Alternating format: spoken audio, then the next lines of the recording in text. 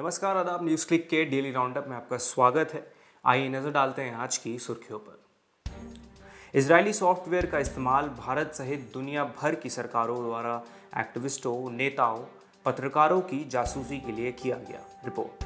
Monsoon सत्र, विपक्षी दलों ने जमकर किया सरकार का विरोध, किसानों महँगाई के मुद्दों पर घेरा।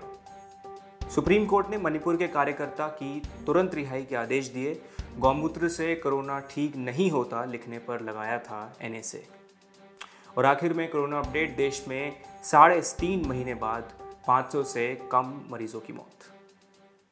दुनिया भर के विभिन्न मीडिया संगठनों द्वारा रविवार 18 जुलाई को जारी की गई एक जाँच रिपोर्ट में दावा किया गया है कि इजरायली अ, स्पाईवेयर पेगासस का इस्तेमाल करके दुनिया भर की सरकारों द्वारा प्रतिद्वंदी नेताओं मानवाधिकार कार्यकर्ताओं और पत्रकारों की जासूसी की गई थी। शुरुआत में एमनेस्टी इंटरनेशनल और पेरिस स्थित गैर लाभकारी संगठन फॉरबिडन स्टोरीज के निष्कर्षों और गार्डियन तथा 16 अन्य मीडिया संगठनों द्वारा जांचे गए तथ्यों पर आधारित इस रिपोर्ट में दावा किया गया है कि इसराइली एनएसओ समूह द्वारा बेचे गए सॉफ्टवेयर का इस्तेमाल contact details message photo email और कॉल रिकॉर्ड्स आदि निकालने के लिए लोगों के फ़ोन हैक करने के लिए किए गए थे। इस रिपोर्ट में दावा किया गया है कि दुनिया भर में सैकड़ों पत्रकारों और दूसरे चर्चित लोगों के फ़ोन टैप किए गए हैं। इनमें भारत के कई लोग शामिल हैं। कुछ ही देर पहले द वायर द्वारा छपी विभिन्न खबरों में इस जासूसी के बारे में कई नए और चौंकाने वाले खुलासे किए गए हैं। द वायर द्वारा हासिल की गई जानकारी के अनुसार भारत के कई लोगों के फ़ोन टैप करने के लिए भारत की कंपनियों ने इजरायली अ, कंपनी एनएसओ से कहा था। इस सूची में राहुल गांधी का भी नाम है। और कहा गया है कि राहुल गांधी और उनके करीबी पाँच लोगों के फ़ोन 2019 चुनावों से पहले टैप किए गए थे। इसके अलावा ये भी खुलासा हुआ है कि पूर्व सीजीआई रंजन गोगोई पर यौन शोषण का आरोप लगाने वाली महिलाओं के भी फ़ोन आरोप लगाए जाने के बाद से टैप किए जाने लगे थे। दवायर ने इस सूची में अशोक लवासा का भी नाम दिया है। अशोक लवासा 2019 चुनाव के दौरान चुनाव आयोग द्वारा गठित तीन लोगों की पीठ के सदस्य थे, जिसमें जिसने बीजेपी द्वारा चुनाव आचार संहिता का उल्लंघन करने की बात कही थी। इसके अलावा इस सूची में प्रशांत किशोर और ममता बनर्जी के भतीजे अभिषेक बैनर्जी का भी नाम है। चौंकाने वाली बात यह है कि जासूसी के रडार में सिर्फ़ विरोधी नहीं, बल्कि सरकार की तरफ़ वाले भी कुछ लोग शामिल हैं। दवायर को हासिल हुई जानकारी में पुष्टि हुई है कि आईटी और रेल मंत्री बने अश्विनी वैष्णव पर भी नज़र रखी जा रही थी। उनके फ़ोन भी टैप किए जा रहे थे। इसके साथ ही प्रहलाद सिंह पटेल, जल मंत्री पर भी 2017 से 19 के बीच निगरानी रखी जा रही थी। अब आइए सुनते हैं वरिष्ठ पत्रकार अभिसार शर्मा का इस पर क्या कहना है।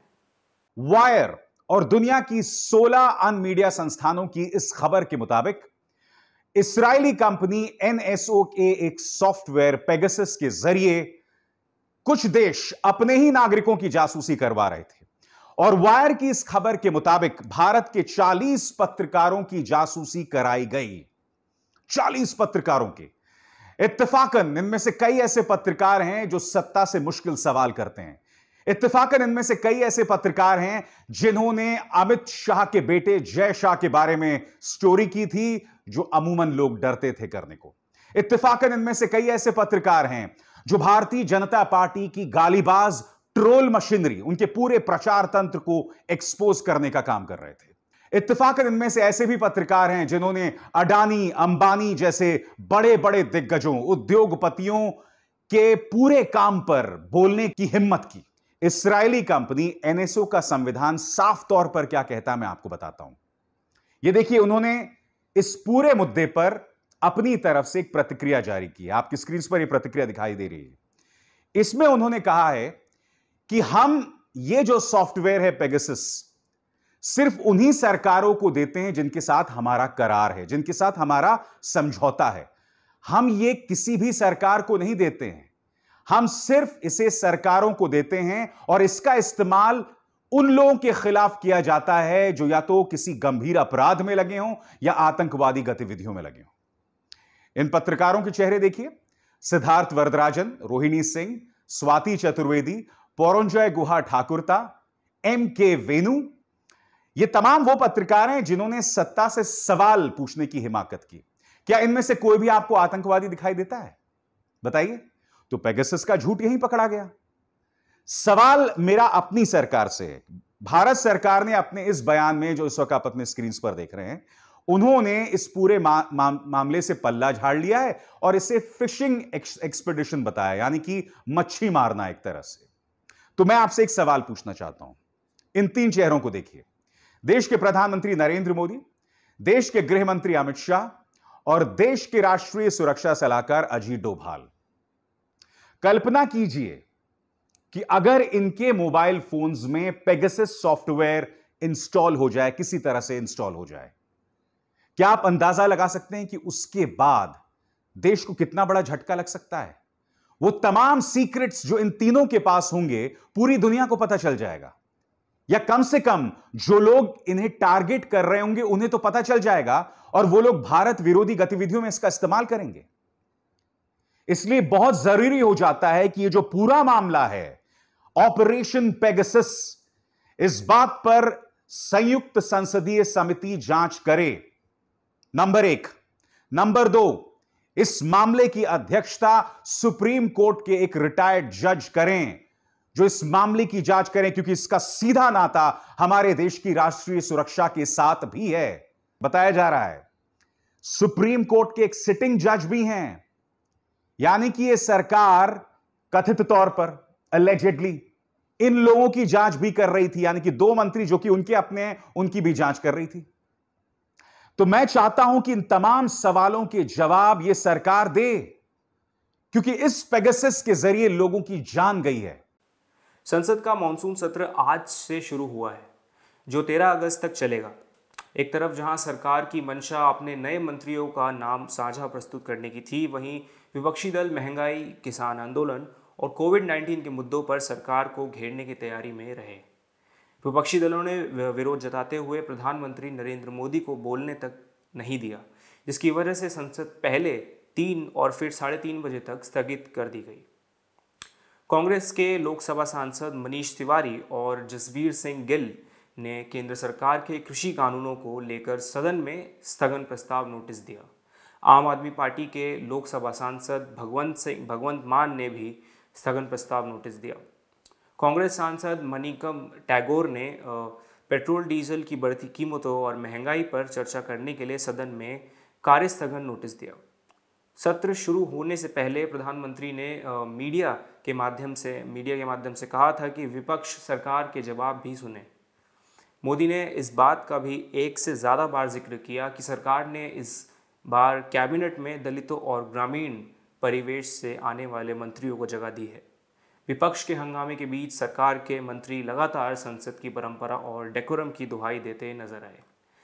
इस पर कांग्रेस नेता शशि थरूर ने कहा कि हमें कोरोना कुप्रबंधन, चीन, किसानों, बेरोजगारी सहित कई मुद्दों पर चर्चा करने के लिए तैयार रहना चाहिए। अगर सरकार हर दिन रचनात्मक चर्चा करने के लिए तैयार होगी तो संसद वैसे चलेगी जैसे लोग उम्मीद करते हैं। सरकार संसद को नोटिस बोर्ड की तरह इस्तेमाल करना चाहती है। इसके अलावा किसानों का प्रदर्शन भी संसद के बाहर शुरू होने वाला है, जिसमें हर रोज़ 200 किसान संसद के सत्र के दौरान संसद के बाहर प्रदर्शन करेंगे। किसानों का यह प्रदर्शन भी 13 अगस्त यानी तब तक संसद चलेगी जब तक चलेगा। मणिपुर के एक्टिविस्ट पत्रकार लिचोम्बम एरेंड्रो को सुप्रीम कोर्ट की ओर से बड़ी राहत मिली है। सुप्रीम कोर्ट ने लिचोम्बम को तत्काल प्रभाव से रिहा करने का आदेश दिया है। कोर्ट ने कहा कि उन्हें एक भी दिन के लिए जेल के भीतर नहीं रखा जा सकता। उन्हें गिरफ़्तार किया जाना अनुच्छेद 21 का उल्लंघन है, जिसमें जीने का मौलिक अधिकार लोगों को प्राप्त है। कोर्ट ने आदेश दिया है कि आज शाम पाँच बजे तक लिचोम्बम को हज़ार रुपये के निजी मुचलके पर रिहा किया जाए। लिचोम्बम पर आरोप था कि उन्होंने एक फेसबुक पोस्ट लिखी थी, जिसमें कहा था कि कोरोना का इलाज गोबर और गौमूत्र से नहीं होगा, जिसके बाद उनके खिलाफ एनएसए के तहत केस दर्ज किया गया था। इस मामले में सॉलिसिटर जनरल तुषार मेहता ने कोर्ट से और समय दिए जाने की मांग की। वह चाहते थे कि मामले की सुनवाई कल तक के लिए टल जाए, लेकिन जज ने एक्टिविस्ट लिचोम्बम को तुरंत रिहा करने का आदेश दिया। जस्टिस डी वाई चंद्रचूड़ और एम आर शाह की बेंच ने कहा कि हमारा मानना है कि लगातार हिरासत में याचिकाकर्ता के मौलिक जीवन के अधिकार का हनन होगा। लिहाजा हम ये निर्देश देते हैं कि शाम पाँच बजे तक हज़ार रुपये के पर्सनल बॉन्ड पर कार्यकर्ता को रिहा किया जाए। बता दें कि इस मामले में लिचुम्बम की रिहाई को लेकर उनके पिता ने सुप्रीम कोर्ट में याचिका दायर की थी। केंद्र स्वास्थ्य मंत्रालय द्वारा आज सोमवार 19 जुलाई को जारी आंकड़ों के अनुसार देश में पिछले 24 घंटों में कोरोना के अड़तीस नए मामले दर्ज किए गए हैं। इसके अलावा कोरोना से आज साढ़े तीन महीने बाद 500 से कम यानी चार सौ निन्यानवे मरीजों की मौत हुई है, जिसमें सबसे ज़्यादा 180 मरीजों की मौत केवल महाराष्ट्र में हुई है। साथ ही इसी बीच देश भर में कोरोना से पीड़ित अड़तीस मरीजों को ठीक किया गया है और एक्टिव मामलों में नौ मामले कम हुए हैं। देश में कोरोना के मामलों की संख्या बढ़कर तीन करोड़ ग्यारह लाख चवालीस हज़ार दो सौ उनतीस हो गई है, जिनमें से अब तक चार लाख चौदह हज़ार एक सौ आठ लोगों की मौत हो चुकी है। देश में कोरोना से पीड़ित सत्तानवे दशमलव तीन एक फ़ीसदी, यानी तीन करोड़ तीन लाख आठ हज़ार चार सौ पैंसठ मरीजों को ठीक किया ठीक किया जा चुका है और देश में एक्टिव मामलों की संख्या घटकर एक दशमलव तीन पाँच फ़ीसदी, यानी चार लाख इक्कीस हज़ार छः सौ पैंसठ हो गई है। स्वास्थ्य मंत्रालय की ताज़ा जानकारी के अनुसार देश में कोरोना वैक्सीन की 40 करोड़ चौंसठ लाख इक्यासी हज़ार चार सौ तिरानवे डोज दी जा चुकी हैं, जिनमें से तेरह लाख तिरसठ हज़ार एक सौ तेईस वैक्सीन की डोज पिछले चौबीस घंटों में दी गई है। न्यूज़ क्लिक के डेली राउंडअप में आज बस इतना ही। हमारी खबरों को और विस्तार से पढ़ने के लिए आप हमारी वेबसाइट पर जा सकते हैं। हमें फेसबुक और इंस्टाग्राम पर फॉलो करें। न्यूज़ क्लिक देखने के लिए शुक्रिया।